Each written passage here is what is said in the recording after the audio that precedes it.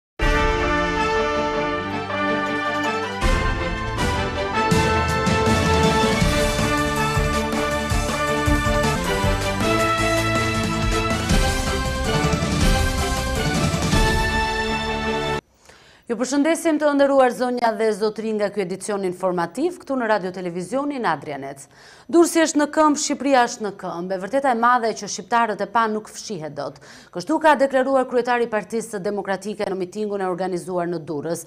Kreu i demokratëve paralajmëroi një revoltë qytetare paqësore kundër qeverisë. Në këtë kuadër Basha tha se vendi ka nevojë për një ofertë të re dhe Partia Demokratike e ka gati këtë ofertë, që do të jetë në shërbim të qytetarëve. Unë ju jap fjalën që Partia Demokratike e ka gati ofertën e re.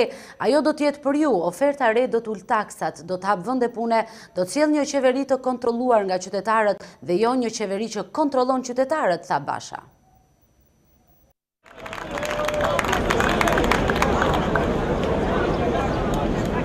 Me këtë përplasje, Rama Meta ia kanë dalë t'i vënë përfund miqtë e tyre renegatë Doshi Frroku. Por duke lënë pas tokën e djegur, tokën e djegur të ligjit që u shkel me dy këmbë, ligjit që u shkel me dy këmbë, pasi kryeministri dhe ministri i brendshëm bashkëjetuan me krimin dhe e fshehën për gjashtë muaj, tokën e djegur të çdo norme demokratike që u përdhos nga Ilir Meta, i cili nuk iu përgjigj thirrjes mbarë popullit për t'u dorëhequr e për të lejuar një hetim të besueshëm. Por kjo, miqtë e mi durrsakë, kjo zonja dhe zotërinj shqiptarë që na ndiqni nga mbarë vendi, është vetëm lavdia e përkohshme e së keqes. Ata mund të kontrollojnë hetimin dhe ta diktojnë, por ata nuk e fshehin dot të vërtetën. Kjo çështje nuk ka për t'u mbyllur. Ky skandal nuk është punë private, e bandave e pushtetit të lidhur me to, kjo është sprova më e madhe për vendin dhe për shqiptarët.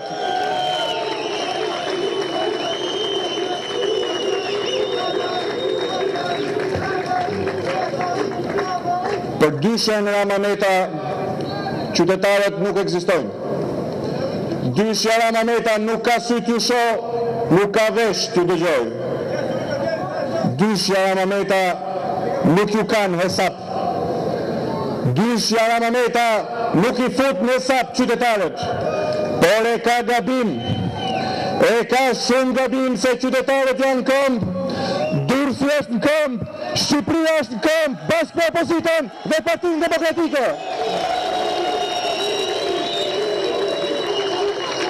Vetëm një bashkim, një bashkim si ky i sotmi, do t'i presë udhën kësaj dyshe zullumi dhe skotës së tyre që i ka zënë frymën shqiptarëve. Do t'i presë udhën dyshes Rama-Meta që prish shtëpitë dhe dyqanet e të pamundurve që mbajnë familjet me to, po lejojnë gradaçielën e mikut në rërën e plazhit si ky Shkurt Abixhiu i korrupsionit këtu në Durrës.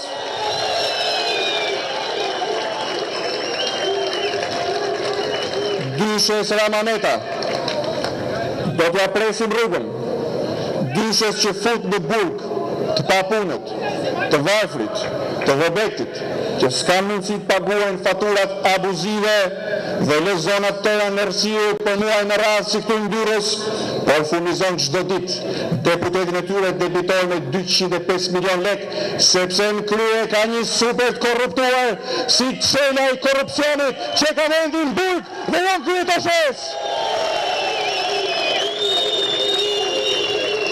Bashkimi do t'i presë udhën kësaj dyshe që i thyen këmbë e brinjë Shpëtim Abazit dhe qytetarëve që s'kanë patur kurrë probleme me ligjin, ndërsa saluton dhe bën ortakëri me bandat më të rrezikshme në vend. Vetëm ky bashkim Ky bashkim i madh dhe i fuqishëm si sot këtu në Durrës do t'i presë rrugën metastazeve që po çojnë drejt akteve ekstreme, vetëflijuese qytetarët tanë shpresëhumbur para arrogancës dhe korrupsionit galopant të zyrave të qeverisë. Vetëm një bashkim, një bashkim i madh si ky në Durrës, si ai i dymbëdhjetë marsit në Tiranë, dhe në çdo qytet tjetër në ditët e ardhshme për të kulmuar sërish në Tiranë.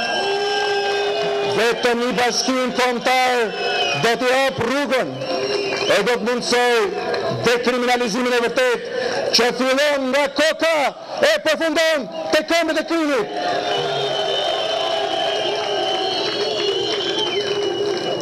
Durrsakë, vëllezër e motra, zonja dhe zotërinj. Ju jeni në këmbë. Shqiptarët janë në këmbë. Revolta zemërimi i mbjellë nga keqqeverisja e kësaj dyshe, e rritur nga shtimi i zullumit të kësaj dyshe, është në çdo vatër dhe zgjidhja do të vijë nga revolta e drejtë dhe paqësore e shqiptarëve. Vendi ka nevojë për një ofertë të re. Unë ju jap fjalën se Partia Demokratike e ka gati ofertën e re. Ajo është ngjizur mes jush, vjen prej jush dhe do të zbatohet për ju, qytetarë të Durrësit dhe të mbarë Shqipërisë. Oferta e re e Partisë Demokratike do të ulë taksat, do të ulë çmimin e energjisë dhe të karburantit, do të krijojë vende pune, Oferta e re do të rrisë pagat dhe pensionet. Oferta e re do të sjellë një qeveri që ndihmon, jo një qeveri që godet qytetarët. Qytetarë që kontrollojnë qeverinë dhe jo qeveri që dhunon qytetarët. Të shporrim nga zyrat banditët dhe kriminelët që kanë zaptuar administratën dhe njohin vetëm gjuhën e dhunës, ryshfetin dhe do të sjellim në krye më të mirët e bijve dhe bijave të Durrësit. Ka Durrësi qindra qytetarë të zotë, të shkolluar, me dinjitet, që do të marrin fatin e qytetit në duar. Ka mijëra Shqipëria prej bijve dhe bijve to, bijave tona më të mira, të edukuar, të shkëlqyer në rezultatet e tyre, që janë sot në hije prej kohës dhe pushtetit të maskarenjve, por që do të marrin vendin që meritojnë. Me ju, me ju dhe me të më të mirët e bijve e bijave të Shqipërisë do t'i ndalim. për të shërbuar, për ta çuar Durrësin dhe Shqipërinë në Europë, për të mos ndalur ëndrrën tonë, ora e votës po vjen, ora e llogarisë po vjen, ora e drejtësisë po vjen, rroftë Durrësi, rroftë Shqipëria!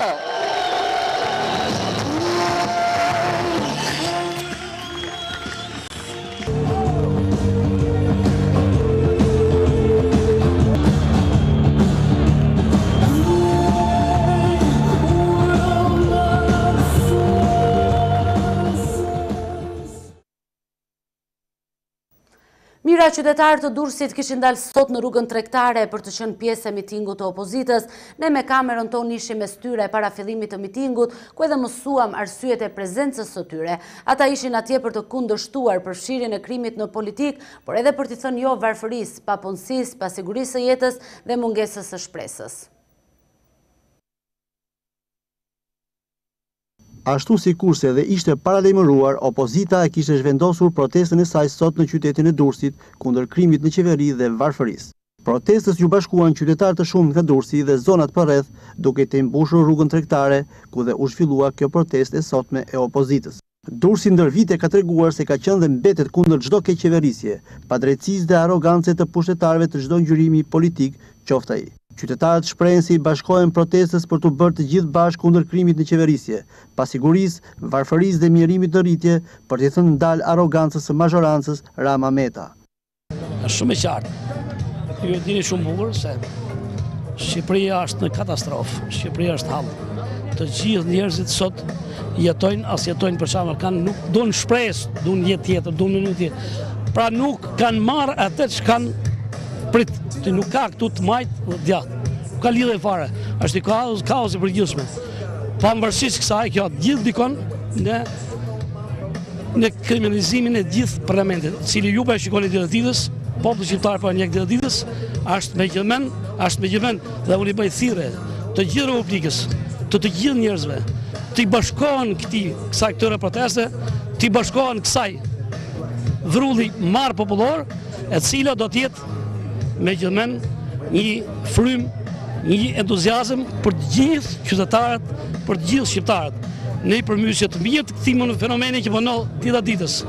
Na vijnë në parlament me të fortit, vijnë në parlament me, me kriminalizim, me, me kriminelë me të gjithë, dhe nga ka ju frikë në gjithë moment. Nuk ka shpresë askush në të gjithë të mënyra. Unë e kjo shumë rrugë e drejtë, është shumë rrugë e mirë, pa po, është, kjo nuk është një Është një luftë për të pastru politikën, nuk është një luftë për të heq një apo dy për të kam i natë, këtë problemet personale. Kundra këtij regjimi që po na pushton gjitha anët, varfri ekonomike, drita, papunësi, gjithçka vetërënimi të thamë. Faleminderit. Duhet të dalim gjithë, jo vetëm unë.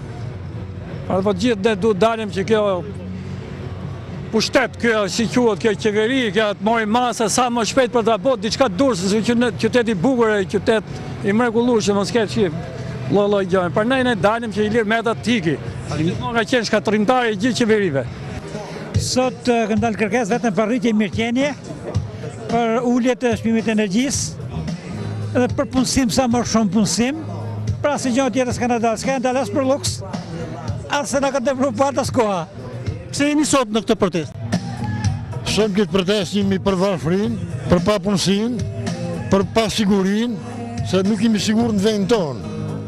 Pra që duhen zhduk kriminelët, duhen zhduk ato që të korruptumit, Dhe ata pushtetarët që sheh po luajnë me popullin dhe po pasurohen, populli është në ditë të zezë. Për atë jam në protestë, edhe nuk ndalem nga protesta. Protestën e përshëndetën qytetarë të Durrësit, nënkryetari i Partisë Demokratike Edmond Spaho, si dhe kreu i Partisë Demokratike Dega Durrës Osman Stafa. Protesta u zhvillua tepër paqësore dhe gjatë gjithë zhvillimit të saj nuk u regjistrua asnjë incident.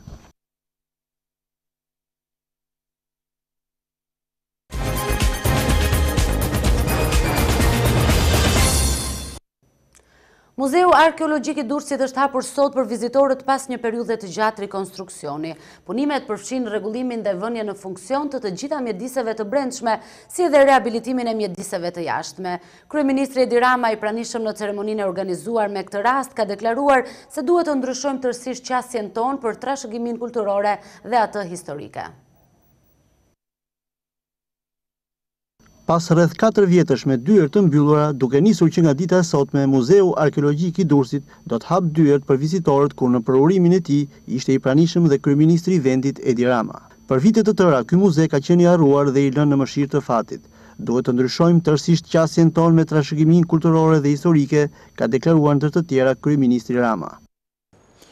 Ne e kemi synim të rëndësishëm transformimin e domosdoshëm të marrëdhënies me trashëgiminë kulturore, një marrëdhënie e degraduar rëndë në vitet e tranzicionit dhe pjesë e këtij synimi është edhe gjithë vëmendja që kemi fokusuar në mënyrë të posaçme në këtë qytet. Nuk është vetëm ky muze, ministrja e preku pak, është edhe amfiteatri, amfiteatri më i madh që romakët ndërtuan jashtë Romës dhe që në këndvështrimin tonë është ende larg së qeni një aset ashtu siç e meriton i krenarisë tonë kombëtare, por edhe i politikës sonë për turizmin dhe për ndërtimin e kësaj marrëdhënie të re me trashëgiminë kulturore. Më pas kryeministri Rama dhe të gjithë të pranishmit në këtë përurim kanë vizituar pavijonet e brendshme të këtij muzeu. Në ambientet e brendshme të tij gjenden mbi tre mijë objekte duke përfshirë qeramikë, skulpturë dekorative, skulpturë të rrumullakët, reliefë, gurë varresh, objekte të argjenderisë, monedha etj. Një pjesë e mirë e këtyre objekteve janë restauruar tërësisht, të cilat që nga koha e zbulimit të tyre nuk ishin restauruar asnjëherë. Muzeu Arkeologjik i Durrësit dhe Amfiteatri Antik janë dy qendra tepër të vizitueshme të qytetit bregdetar, qendra të rëndësishme të turizmit historik, dhe të vlerësuara nga specialistët e huaj. Mikpritja Durrsake, një festë që organizohet çdo vit më datën njëzet e një mars në qytetin e Durrësit, edhe kësaj radhe është shoqëruar me mbjelljen simbolike të trëndafilit. Ndërkohë, në ceremoninë e organizuar me këtë rast me propozimin e Shoqatës Durrësi, tre personalitete të jetës së qytetit u vlerësuan me tituj nderi. Festa tradicionale Mikpritja Durrsake, që organizohet çdo vit nga Shoqata Durrësi, me rastin e njëzet e një marsit, ka mbledhur edhe kësaj radhe dhjetëra e dhjetëra qytetarë në ceremoninë festive të organizuar. Fillimisht në mënyrë simbolike, në lulishten e vogël në krah të godinës së bashkisë, është mbjellë edhe trëndafili, si shenjë e stinës së pranverës që sapo ka hyrë, por edhe si shenjë e mikpritjes që e karakterizon gjithë qytetin e Durrësit. Më pas, ceremonia festive Mikpritja Durrsake është zhvendosur në sallën e Teatrit Aleksandër Moisiu, ku dhe u ndanë disa çmime nderi për personalitete me kontribute në qytetin e Durrësit. Kryebashkiaku Vangjush Dako ndau çmimet e dhëna për Rajmond Nushin pas vdekjes dhe për Lulzim Kastratin dhe Mimoza Lakun. me zotin Rajmond Nushi, të cilit Bashkia e Durrësit dhe Shoqata Durrësit i japin titullin Nderi i Qytetit të Durrësit.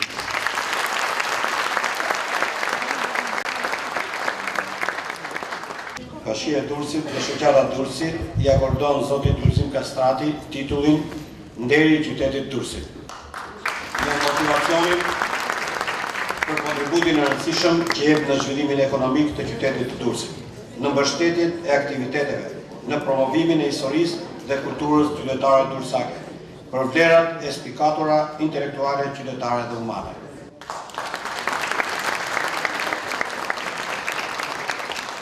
Zonjës Mimoza Laku i japim titullin Nderi Qytetit Durrësit me motivacionin për kontributin e rëndësishëm që jep në zhvillimin ekonomik të qytetit Durrësit në mbështetje të aktiviteteve në promovimin e historisë dhe të kulturës durrsake.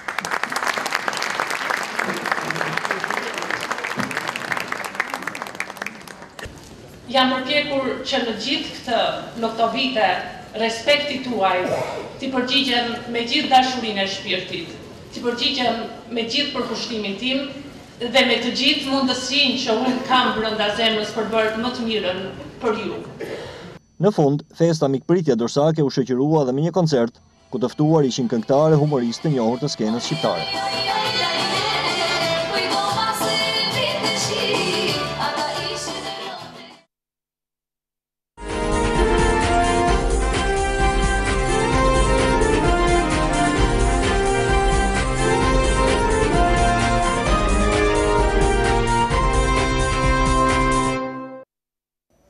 Në Elbasan ka nisur puna për ndërtimin e impiantit të përpunimit të mbetjeve urbane dhe faza e parë e tij do të jetë gati pas disa muajsh. Ndërkohë në vijim do të ndërtohet edhe stabilimenti për djegien e mbetjeve, i cili do të jetë edhe një burim i prodhimit të energjisë elektrike. Bashkia e Elbasanit e sheh ndërtimin e impiantit si zgjidhjen e plotë të problemit të ndotjes së mjedisit që shkaktojnë mbetjet urbane. Megjithatë, ende mbetet pa zgjidhje ndotja që qyteti dhe industritë i bëjnë ujërave të lumit të Shkumbinit.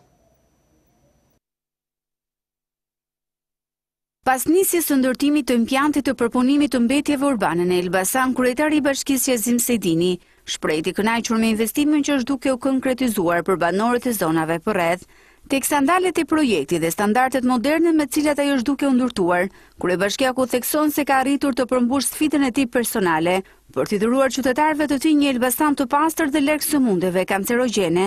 Duke falënderuar qeverinë për investimin e bërë, Sejdini tha se po kaq e rëndësishme është edhe pastrimi i fushës së vjetër të mbetjeve, e cila në stinën e verës shndërrohet në ndotësin kryesor në qytet. Sipas tij brenda muajit qershor do të mundësohet ndërtimi i sheshit të depozitimit të plehrave dhe pas katërmbëdhjetë muajsh do të përfundojë ndërtimi në kompleks i landfillit të ri. Mas dymbëdhjetë vjet përpjekjesh dhe mas shtatë vjet lufte intensive si kryetar bashkie, qeveria shqiptare dhe kryeministri Edi Rama i dhuruan Elbasanit atë që atij i mungonte prej shumë vitesh. Landfillin do ta quajmë ne, në fakt ai s'është landfill, por është inceneratori i djegies. së mbeturinave, i të gjithë llojeve të mbeturinave. Është i pari që bëhet në vendin tonë. Është brenda normave dhe standardeve të Komunitetit Evropian, që prodhon energji dhe avull, por kjo pak rëndësi ka për qytetarët. Rëndësia më e madhe është që më në fund Elbasani mas 14 mujsh do t'i pastrohet ajri nga djegia e mbeturinave dhe plehrave të qytetit të Elbasanit. Landfilli i ri nuk do të zgjidhte përfundimisht ndotjen në qytetin e Elbasanit, pasi një tjetër destinacion i ndotur konsiderohet lumi Shkumbin. Në qytetin e Elbasanit regjistrohen njëzet e katër grykëderdhje të cilat përfundojnë në ujërat e lumit Shkumbin, ndërsa e kanë zanafillën kryesisht nga industria e rëndë. Edhe për këtë sektor bashkia ka përgatitur projektin, Për t'i dhënë zgjidhje kësaj ndotjeje, impianti i përpunimit të mbetjeve do të prodhojë energji dhe avuj. Trajtimi i mbetjeve urbane do të bëjë të mundur emetimin e gazave sipas standardeve të BE-së, me një fuqi energjie të prodhuar, dy pikë tetëdhjetë e pesë kilowatt, ndërsa do të kushtojë mbi njëzet e një milionë euro.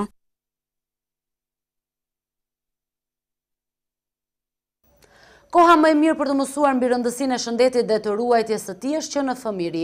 Për këtë qëllim, Drejtoria Rajonale e Shëndetësisë në Elbasan, në bashkëpunim edhe me Drejtorinë Arsimore Rajonale, kanë ndërtuar një program të veçantë edukimi për fëmijët e kopshteve, program ky që është shoqëruar edhe me një konkurs. Programi fillimisht ka gjetur zbatim në disa prej kopshteve të qytetit, ndërkohë që planifikohet shtrirja e tij në të gjithë territorin e qarkut të Elbasanit.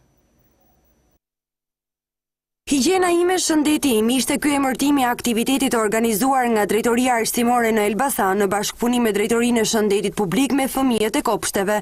I zhvilluar në formën e konkursit, aktiviteti synon të testojë njohuritë e vogëlushëve në lidhje me njohuritë bazike që ata disponojnë dhe rëndësinë që ka të kujdesesh për shëndetin dhe higjienën personale, Përfaqësuesja e Shëndetit Publik, Evisa Mica, tha se është mjaft e rëndësishme që fëmijët të edukohen të tregojnë kujdes me shëndetin e tyre dhe rëndësinë e parandalimit të mjaft sëmundjeve, si një mundësi mjaft e mirë për të mbrojtur shëndetin e tyre për të garantuar një brez të shëndetshëm. Ky është një konkurs që po zhvillohet pas disa vitesh pushimi, ndërmjet dy, në bashkëpunim me dy drejtoritë e qytetit të Elbasanit, Drejtoria e Shëndetit Publik dhe Drejtoria e Arsimit, Është një nismë që si si qëllim kryesor ka sensibilizimin sa më të hershëm të fëmijëve mbi shëndetin dhe higjienën e tyre. Një shëndet, një higjienë e hershme do të ndihmonte shumë për një shëndet të përhershëm. Prandaj, ne kemi zhvilluar në formën e konkursit me grupet e treta të gjithë kopshteve të qytetit të Elbasanit për të parë edhe disi njohuritë e fëmijëve dhe për t'i mësuar dhe t'i thelluar më tej në trurin e tyre këto gjëra. Konkursi ka vendosur përballë fëmijët e grupeve të treta të dy kopshteve publike të qytetit, të cilët kanë përcjellë edhe një sërë mesazhesh të rëndësishme. Dhëmbët i lamë sepse gjatë ngrënies nëpërmjet dhëmbëve grumbullohen mbeturina ushqimore, të cilat nën veprimin e mikrobeve që gjenden në gojë, prishen duke qenë pranë dhëmbëve, këto mbeturina i dëmtojnë dhëmbët duke i prishur. Aktivitete të tilla, më shumë se informuese e ndërgjegjësuese, angazhojnë fëmijët të përfshihen në projekte të rëndësishme për të ardhmen e tyre. Poeti matjan Hamdi Hysuka vjen pranë lexuesve me vëllimin e tij të dytë me poezi të titulluar Pa moshë. Këtë botim të ri ai e ka ndarë në tre pjesë, ku me poezitë e tij prek tema të ndryshme nga historia, aktualiteti dhe lirika. Ndonëse është vetëm vëllimi i tij i dytë poetik, Hamdi Hysuka ka hyrë tashmë ndër emrat e poetëve më të pëlqyer nga lexuesit. Nuk mjafton vetëm numri i librave që të përcaktosh origjinalitetin e një poeti. Kështu ndodh edhe me poetin matjan Hamdi Hysuka, i cili edhe pse vjen me vëllimin e dytë poetik të tij të titulluar Pa moshë, është tashmë pjesë e kolanës së autorëve bashkëkohorë shqiptarë. Por ç'e bën Hysukën të ndihet i pamoshë në këtë vëllim poetik? Unë ka vite që shkruaj poezi, natyrisht nuk jam profesionist, por e pëlqej e dashuroj shumë poezinë dhe pas vëllimit të parë Kam për të thënë, i cili është botuar vite më parë, përgatita vëllimin e dytë. Vetë fjala Pa moshë do të thotë që poezia të kërkon përkushtim. të kërkon art në vetvete, sepse siç është letërsia fjalë e artit, poezia në përmbajtje e tillë është, e tillë duhet të shkruhet dhe e tillë duhet t'u transmetohet lexuesve. Titulli Pa moshë do të thotë që unë nuk kam moshësi në motive një, në tematikë, pse jo edhe në mesazhet që secila prej këtyre poezive përcjell. Unë i kam ndarë në tre cikle. Cikli i parë ka të bëjë me me historik pak që është për Matin edhe në përgjithësi, me figura dhe personazhe që kanë në vetvete një mesazh kombëtar, mbase edhe mbarëkombëtar. Cikli i dytë pastaj nga jeta, nga aktualiteti i të dy periudhave, diku them aty që unë jetoj në dy shekuj, domethënë në vitet para nëntëdhjetë dhe viteve pas nëntëdhjetë në periudhën e demokracisë. Pastaj cikli i tretë dhe i fundit, që është më i ndjeshmi, ku edhe unë mendoj se aty e gjej veten, është lirika. Redaktori i librit, shkrimtari Namik Selmani thotë se libri i Hamdi Hysukës është vetë kodi artistik i jetës që jetojmë. Poezitë e tij janë shumë harmonike, ku mund të gjejnë veten të gjithë. Të rinjtë mund të lexojnë ciklin shumë të bukur erotik Trëndafilit trëndafiltë, nostalgjikët ciklin, Hyj e dal si pranvera, sfidantët e mirësisë ciklin Fijet e jetës tjerë e të tjerë. Në të nëntëdhjetë poezitë e këtij libri, Hysuka tregohet poet shumë social. Në mjaft raste ai është migjenian, kritik i dukurive të rënda të shoqërisë, fshikullues i politikanëve të kohës dhe antinjerëzve, siç thotë ai, përplot me mëkate. Libri Pa moshë i poetit Hamdi Hysuka ka për botues Mark Simonin dhe për redaktor shkrimtarin Namik Selmani.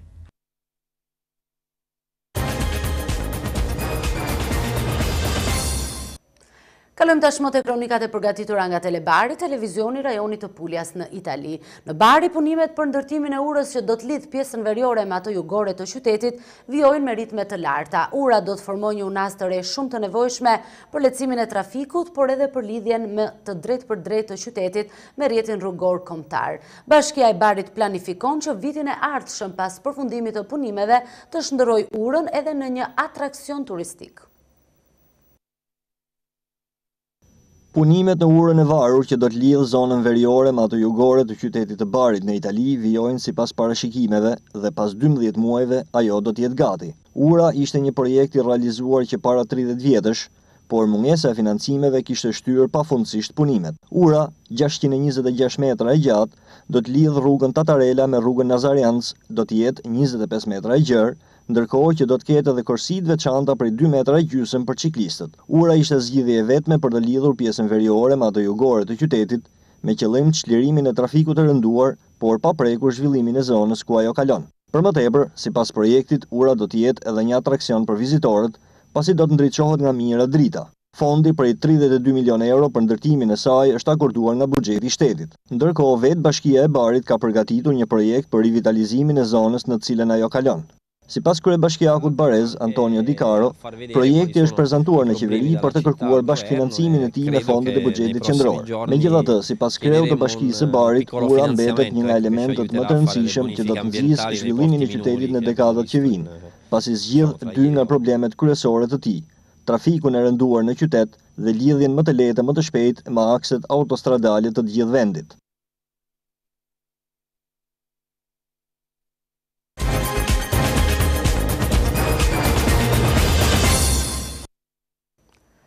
Greqia ishte në qendër të diskutimeve të liderëve të Bashkimit Europian, kjo gjë u konfirmua nga presidenti i Këshillit Europian Donald Tusk, i cili gjatë një konference për shtyp ka bërë të ditur se institucionet europiane i kanë bërë një tjetër kontroll situatës në Greqi.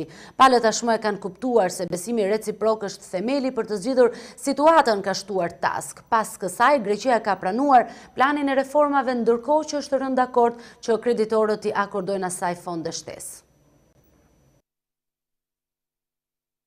Greqia ka pranuar planin e reformave kështu që kreditorët do t'i japin asaj fonde shtesë. Ajo ka qenë në qendër të diskutimeve të liderëve të Bashkimit Europian, siç tha dhe presidenti i Këshillit Europian Donald Tusk gjatë konferencës për shtyp. Ai është shprehur se kemi bërë një kontroll mbi situatën reale në Greqi, tha Tusk, duke shtuar se palët tashmë kanë kuptuar që besimi reciprok është themeli për të zgjidhur situatën. Por jam shumë optimist për takimin, u shpreh ai. Ndërkaq, vetëm një ditë më parë, kryeministri grek Alexis Tsipras mori pjesë në një mini-samit me lojtarët kyç europianë. Pra, Merkel, Hollande, Tusk, Juncker dhe Draghi, ku pas një maratone bisedimesh u njoftua se Greqia ka rënë dakord për një plan të ri reformash brenda disa ditësh për të garantuar fondet shtesë të ndihmës nga kreditorët ndërkombëtarë për të evituar falimentimin. Takimi i së premtes zgjati deri në orët e vona të natës përkrahas samitit të Bashkimit Europian. I pyetur për sulmet në Tunizi që qytetarët europianë kërkojnë një aksion më të vendosur kundër terrorizmit, Tusk tha që nuk ka zgjidhje afatshkurtër për këto vende si Tunizia, sepse situata është shumë e komplikuar. Ai gjithashtu ka bërë me dije se kryeministri italian Matteo Renzi do të jetë një prej liderëve të procesit të mbrojtjes së kufijve të Bashkimit Europian bashkë me homologët në Greqi, Spanjë apo Maltë. Ne nuk e stabilizojmë dot situatën në Libi pas një armëpushimi dhe duhet të mbështesim qeverinë në Tunizi, demokracia më premtuese në rajon, ndaj duhet të bëjmë gjithçka për ta mbrojtur atë, por mendojmë që mund të jetë shënjestra e radhës së ekstremistëve islamikë. Ndaj, shefja e diplomacisë Mogherini po kujdeset për situatën. Edhe kjo e fundit para takimit e cilësoi sulmin në Tunizi si një sulm ndaj Europës, duke qenë se viktimat ishin shtetas europianë, ndaj dhe Europa do të përgjigjet, tha ajo. Do të përgatisim të gjitha opsionet për të mbështetur një qeveri uniteti kombëtar, edhe në nivel sigurie, por jo një ndërhyrje ushtarake, tha Mogherini para gazetarëve. Dhe për këtë, Bashkimi Europian po bashkëpunon me Kombet e Bashkuara, por sipas saj, situata në Libi përbën kërcënimin më të madh.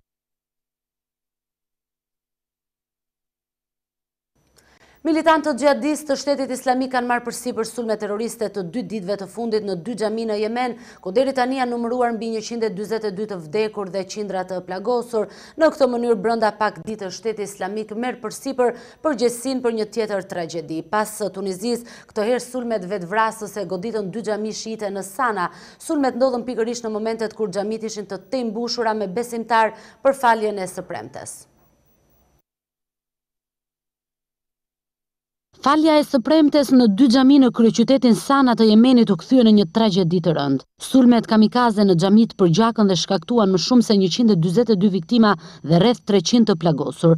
Pesë kamikazë që depërtuan mes besimtarëve hodhën veten në erë, duke shkaktuar një masakër të vërtetë. Sulmet u morën përsipër nga Shteti Islamik në një llogari në Twitter, Pak kohë pas qarkullimit të informacionit se pas tyre qëndronin militantë të organizatës Abu Bakr al-Baghdadi, në të flitej për një hakmarrje të pesë kalorësve të pajisur me rripa me eksploziv. Nëse konfirmohet autorësia, këto janë sulmet e para të militantëve të Shtetit Islamik në Jemen. Sulmet ndodhën në dy xhamitë që frekuentohen nga mbështetës të grupit shiit Houthi, që kontrollon kryeqytetin dhe që ndodhet në konflikt me grupe të armatosura përfshirë dhe militantë të Al-Kaedas, ishin dy shpërthime të njëpasnjëshme të cilat kanë tronditur kryeqytetin e Jemenit. Xhamitë frekuentoheshin shpesh nga mbështetës të grupit shiit Houthi që pak kohë më parë mori nën kontroll kryeqytetin Sana pas një grushti shteti që largoi nga pushteti presidentin Mansour Hadi, pjesëtar i komunitetit suni. Sulmi i përgjakshëm i së premtes sipas Shtetit Islamik ishte hakmarrje për këtë rast. Kjo është hera e parë që Jemeni goditet nga militantë të Shtetit Islamik, Por xhihadistët kanë shpeshtuar sulmet në vendet me shumicë myslimane ditët e fundit. Dy ditë më parë u godit Tunizia, më herët edhe Libia. Edicioni informativ në radio televizionin Adrianet përfundon këtu të nderuar teleshikues. Për më tepër, ju mund t'i drejtoheni dhe faqës sonë në internet adrianet.tv, ku mund të informoheni mbi të gjitha zhvillimet e ditës. Për çdo problem social që keni në komunitetin ku banoni, kontaktoni në numrin tonë të telefonit 052 901 224. Faleminderit që na ndoqët bashkë mirupafshim në edicionet e ardhshme.